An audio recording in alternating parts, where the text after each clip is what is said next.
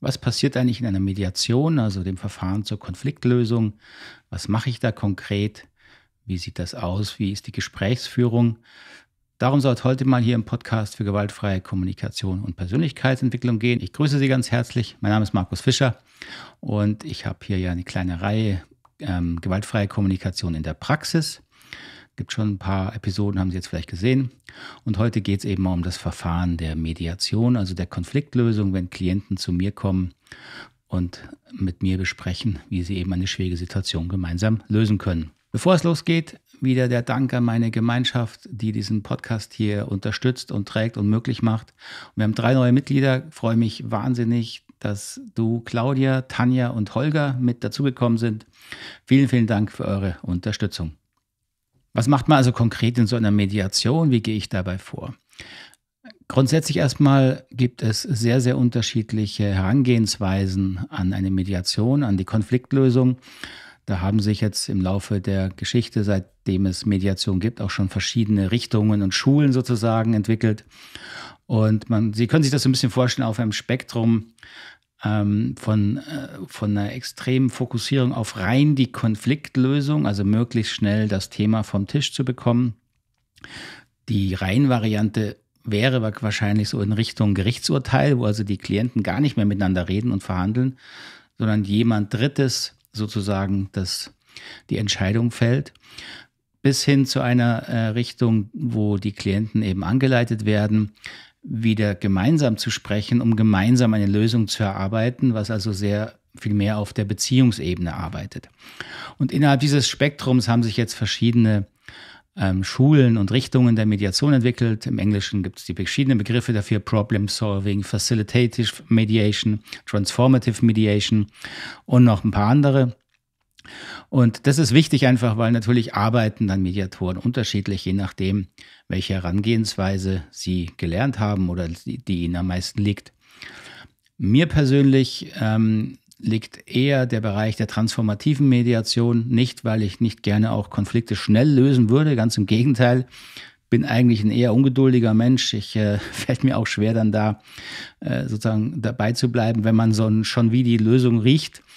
Aber die Erfahrung zeigt mir, dass wenn man zu schnell und vor allen Dingen nur fokussiert auf eine sachliche Lösung an das Thema herangeht, dass das in meisten Fällen keine dauerhafte Lösung bringt. Gerade wenn die Klienten natürlich irgendeine Form der Beziehung weiterhin haben, sei es eine berufliche Arbeitsbeziehung, sei es eine freundschaftliche oder auch eine Partnerschaft, dann bedeutet es ja, dass der Konflikt, die Konfliktlösung ja nicht das Ende dieser Beziehung hoffentlich ist und dass sie auch in Zukunft Probleme haben werden. Und das macht natürlich sehr viel Sinn, dass die Klienten erleben, sie können aus sich heraus mit einer gewissen Unterstützung einen Konflikt lösen.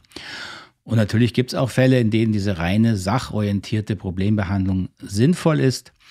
Wie gesagt, mein und unser Ansatz orientiert sich mehr an der Richtung der transformativen Mediation, die also durchaus auch den Beziehungsaspekt einfließen lässt in die Arbeit. Und natürlich auch, jetzt durch unseren Hintergrund mit der gewaltfreien Kommunikation, ist das Thema Persönlichkeitsentwicklung, ähm, spielt da natürlich schon auch immer mit rein. An dem Punkt mal ein kurzer Werbeblock. Es gibt jetzt ganz aktuell, ganz neu eine der seltenen Möglichkeiten mit meiner Kollegin Alexandra Boos und mir online zusammen ähm, zu arbeiten und zu lernen. Und zwar haben wir gerade ganz neu, auch auf viele Nachfragen, jetzt doch mal eine Online-Ausbildung in gewaltfreier Kommunikation aufgesetzt. Äh, besteht aus mehreren äh, Inhalten, also sowohl praktischer Online-Arbeit live mit uns natürlich. Und integriert ist auch der große Online-Kurs mit all den Live-Webinaren, die mit mir stattfinden und dem äh, Coaching, was darin stattfindet. Denke, ist eine tolle Möglichkeit. Schauen Sie es mal auf der Homepage an. www.knotenlösen.com. Knotenlösen ein Wort mit OE und dort dann die Online-Ausbildung gewaltfreie Kommunikation. Danke für Ihre Aufmerksamkeit. Um das Ganze ein bisschen anschaulicher zu machen, habe ich Ihnen einen kleinen Beispielfall mitgebracht, der, den ich bearbeitet habe, der natürlich verfremdet ist, sodass sich da niemand wiedererkennen kann. Ähm, das Beispiel sind zwei Geschwister, die zusammen eine Firma haben, eine jüngere Schwester und eine ältere Schwester. Nennen wir die ältere Schwester hier mal Anna, die erstere, die jüngere Schwester Bertha.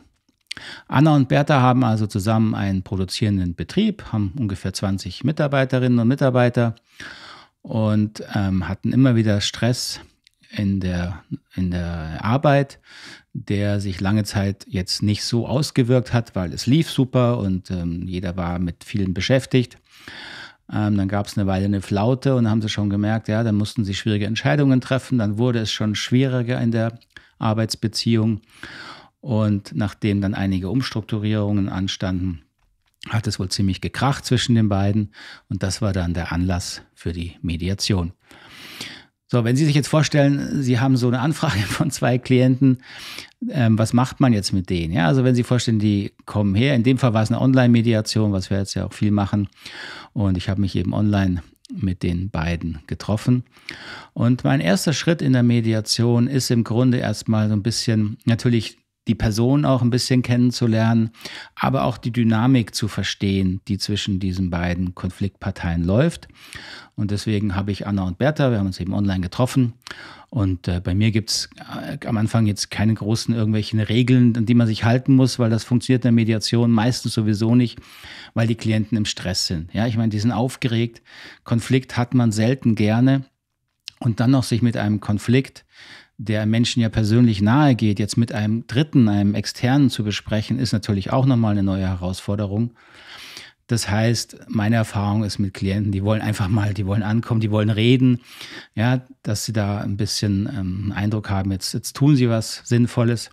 Und deswegen, da halte ich die Klienten dann auch nicht auf mit irgendwelchen Formalien das, oder irgendwelchen Gesprächsregeln sogar. Das funktioniert sowieso nicht, weil wenn der Konflikt dann anheizt und heiß wird, dann fallen sich die Menschen ins Wort. Natürlich, das muss man dann ein Stück weit steuern als Mediator, aber Regeln einzuführen macht meistens keinen Sinn.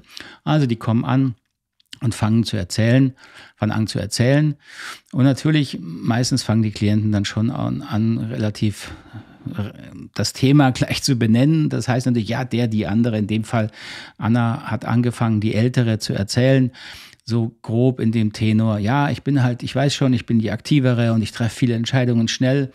Und da sieht sich meine Schwester Bertha oft so ein bisschen zurückgesetzt, aber die ist halt auch so mit ihrem kreativen Part so für sich beschäftigt und hat einfach nicht so den, den Drive und die Schnelligkeit. Und das nervt mich manchmal auf, auch und da hält sie mich auf. Naja, und, und dann reagiere ich natürlich manchmal patzig, wenn sie sich dann beschwert.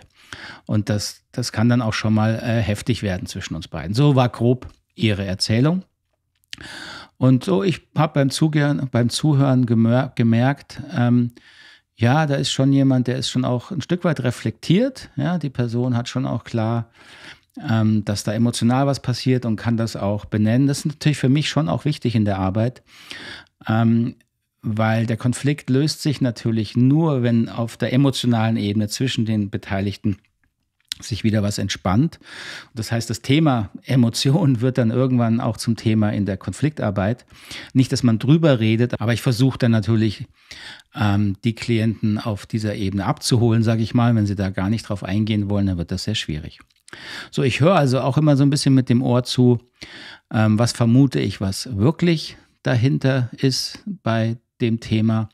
Was spricht da aus dieser Person? Und wenn ich da der Anna zugehört habe, ähm, dann kam bei mir eben an so ein bisschen das Muster, naja, ich bin halt der, die Große und äh, ich gehe voran und ich treffe Entscheidungen und meine kleine Schwester nehme ich manchmal nicht so ganz ernst. Das hat die Person nicht gesagt, ganz bewusst. Ich sage es auch, das war mein Eindruck. Das heißt, da höre ich dann natürlich schon ein bisschen so ein Konfliktthema raus. So, Bertha hat dann erzählt, ja, meine Schwester ist einfach immer die Chefin in der Firma nimmt überhaupt keine Rücksicht auf mich, die zieht ihr Ding durch und das wird immer schlimmer. Und wenn ich da mal was sage, dann wird sie auch noch arrogant und patzig und ich lasse mir das nicht mehr bieten. Ich bin kurz davor, hier zu kündigen. So, wenn ich sowas höre, dann ist natürlich immer wichtig, dass man den Klienten auch wirklich auch ernst nimmt in seiner inneren Beteiligung, auch in der Ernsthaftigkeit. Und das ist einfach für mich natürlich mittlerweile Routine in der Arbeit. Nur jetzt eben Ihnen mal deutlich zu machen, wenn ich Klienten zuhöre, versuche ich immer das zu erfassen, was vermutlich das schwierigste, das schmerzhafteste Thema ist, ähm, wo eine innere Zerrissenheit ist oder wo vielleicht am meisten Vorwurf vom Konfliktgegner ankam. Ähm, und das waren jetzt nur bei Bertha im Grunde so zwei Themen, dass sie tatsächlich den Eindruck hat, ihre Schwester nimmt sie nicht ernst. Das habe ich in nicht genau den Worten, aber ungefähr so habe ich das auch so verstanden und ihr zurückgespiegelt. Und das Thema, dass sie wirklich äh, am Ende ist, den Kampf satt hat und im Grunde schon fast dabei ist, die Firma zu verlassen. Das habe ich auch so benannt ähm, und auf den Tisch gelegt, sozusagen, weil das ist mir wichtig, dass man da nichts beschönigt oder versucht, irgendwelche ähm, gleich Lösungen äh, zu finden. Das, das ist am Anfang viel zu früh. Man muss erstmal ernst nehmen, wo die Klienten wirklich sind, auch mit ihren Gegensätzlichkeiten, auch mit ihren Spannungen und nicht gleich versuchen, die wieder zusammenzubringen. Denn so in dieser ersten Phase, wenn wir sie mal so nennen wollen, der Mediation, ähm, hat sich für mich immer gezeigt, die Klienten sind enorm unter Spannung. Die ähm, wollen ihre Seite darstellen und sie wollen natürlich in dem auch verstanden werden und wirklich ernst genommen werden. Da wollen die noch nicht auf ihren Konfliktgegner eingehen. Selbst wenn sie sagen, ja, ich möchte es schon lösen. Aber es steckt ja etwas Emotionales dahinter, warum sie sich so in ihrer Sichtweise äh, festhalten. Und es bringt überhaupt nichts dagegen zu kämpfen, schon gar nicht als Mediator. Und deswegen ganz im Gegenteil, wirklich akzeptieren, verstehen, versuchen zu verstehen, was noch dahinter liegt sozusagen, warum die Person jetzt ähm, mit bestimmten Themen besondere Schwierigkeiten hat.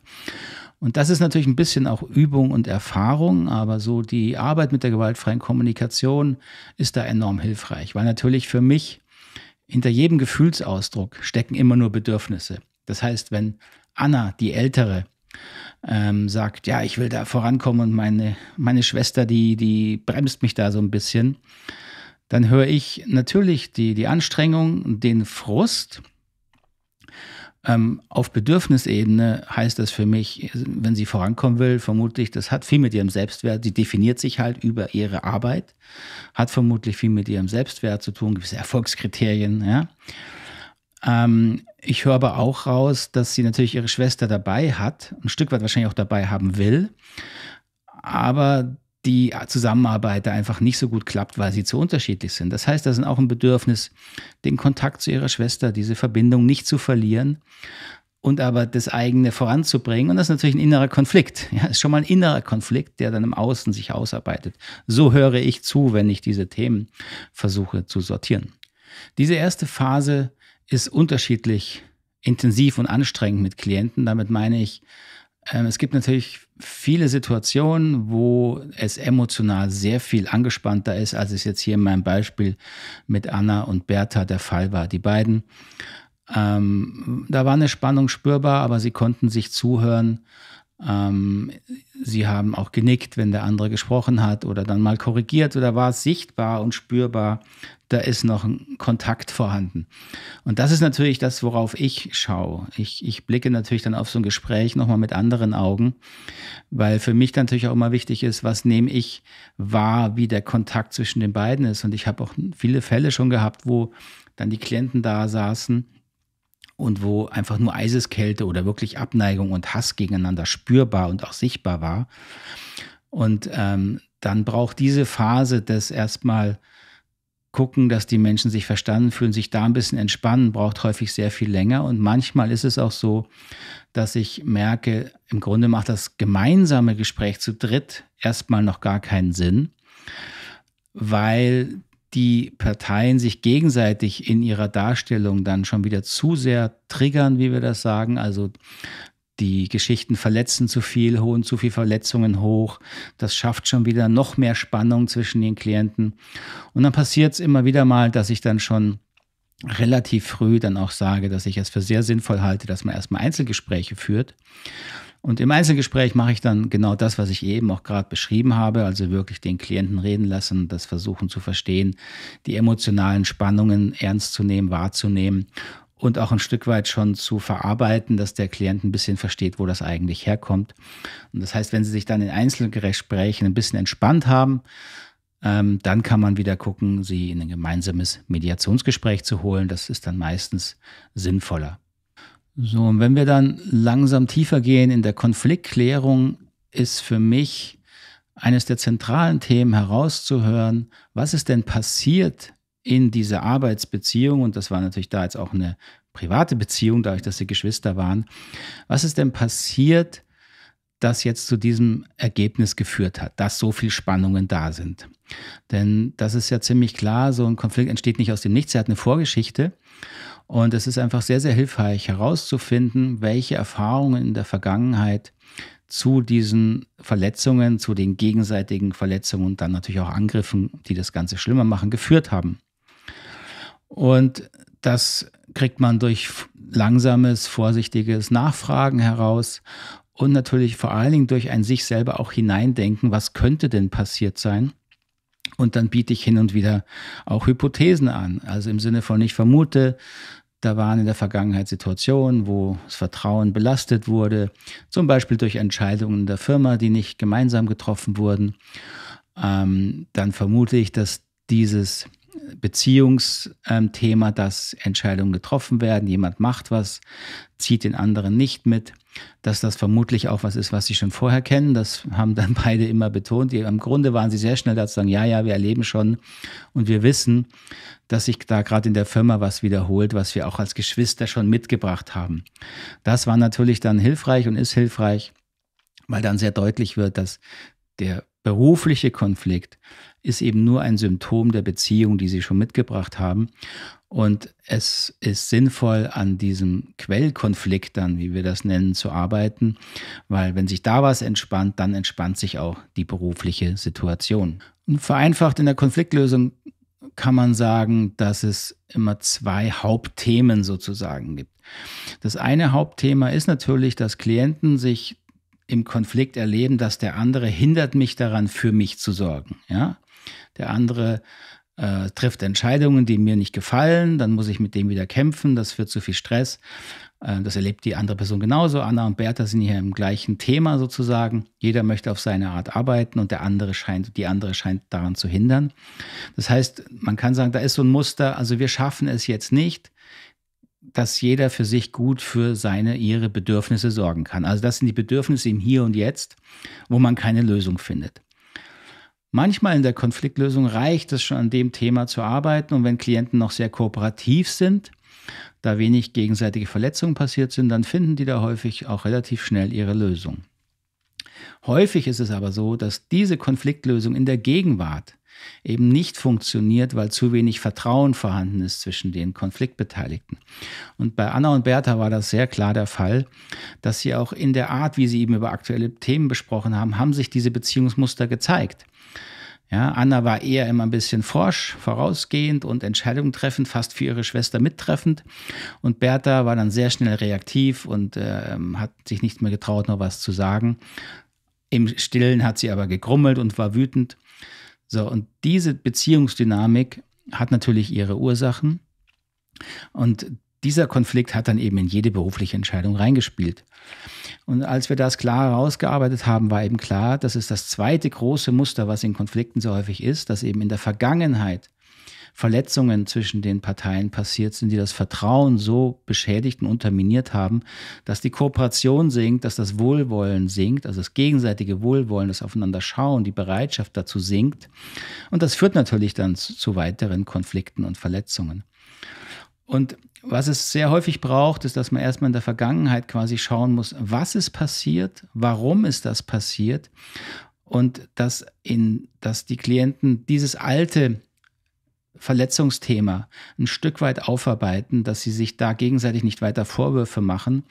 Denn wenn sie das schaffen, dann heilen sie ein bisschen ihre gemeinsame Vergangenheit und das setzt dann sehr, sehr viel mehr Kooperationsbereitschaft wieder frei, gegenseitiges Verständnis frei. Und das braucht man für diese Konfliktlösung in der Gegenwart.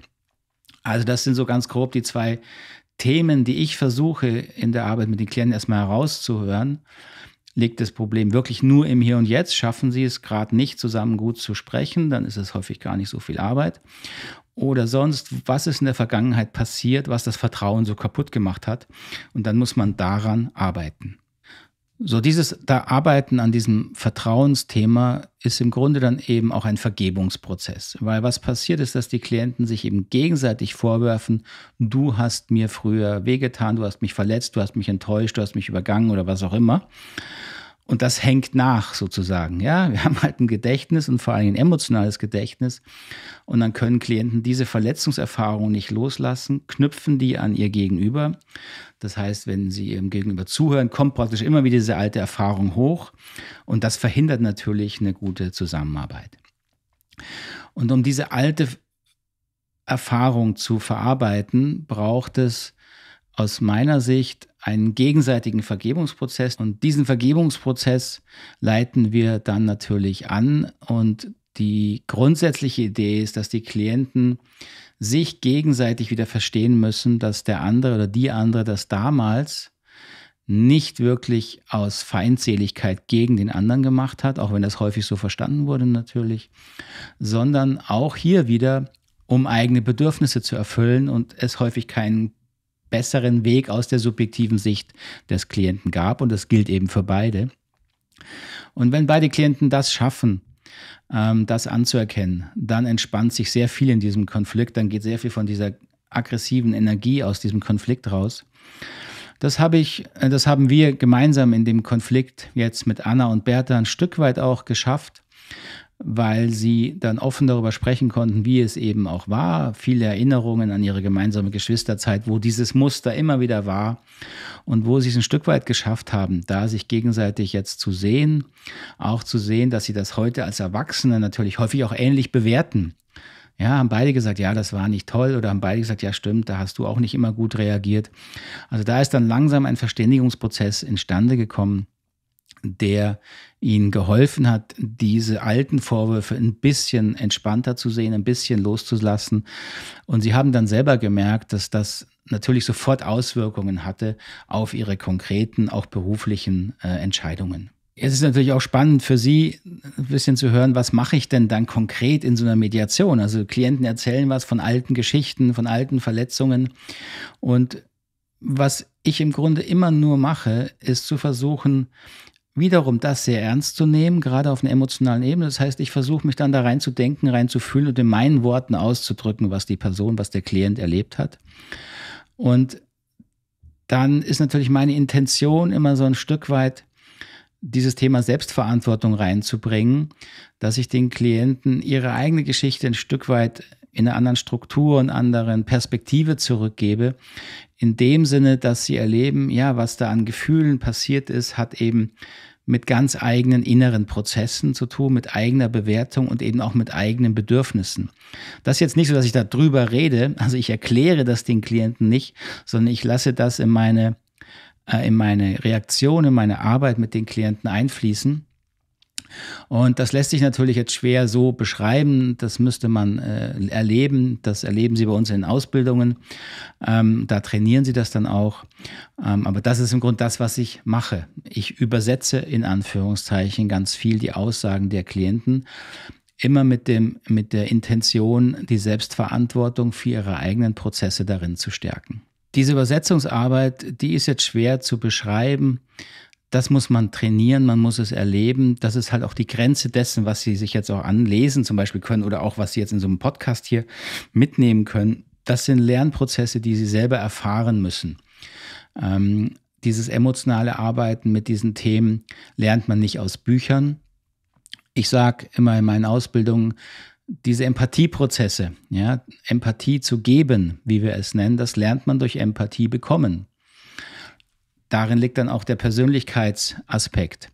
In unseren Ausbildungen arbeiten Sie an eigenen Themen mit empathischer Unterstützung, damit Sie erleben, Empathie hat eine unglaublich klärende Wirkung. Aber erst diese innere Erfahrung gibt Ihnen ein, ein wirkliches eine wirkliche Erfahrung auch der Begriffe, die wir verwenden. Ja, der Begriff Bedürfnis ist sehr einfach, aber wie wir in der gewaltfreien Kommunikation verwenden und wirklich meinen, lässt sich im Grunde nur durch eigene Arbeit erfahren. So, und diese empathischen Prozesse, das ist im Grunde das, was, was schwierig ist, ähm, äh, zu lernen, weil es braucht ein bisschen Zeit, es braucht auch äh, einfach diese, diesen Rahmen, der einem dabei hilft. Aber es ist sehr, sehr hilfreich und eben auch und gerade in der Konfliktlösung eine tolle, tolle Möglichkeit, um Menschen zu helfen. Gut, ich hoffe, das hat Ihnen ein bisschen Einblick gegeben in dieses sehr, sehr komplexe Thema Mediation und Konfliktlösung. Sie wissen, wenn Sie Fragen haben dazu, melden Sie sich gerne, schreiben Sie mir eine E-Mail an fischer.knotenlösen.com oder schreiben Sie meine WhatsApp. Äh, wie immer unten in der Beschreibung. Ich freue mich über jede Rückmeldung und freue mich natürlich auch besonders, wenn Sie diesen Podcast weiterempfehlen oder ein, eine, eine Bewertung geben auf dem Portal, wo Sie ihn vielleicht gerade hören. Und wenn Sie ihn hier sehen, gerne auch unten einen Kommentar reinschreiben. Ganz vielen Dank. Ich wünsche Ihnen alles, alles Gute. Bis zum nächsten Mal. Tschüss. Ade.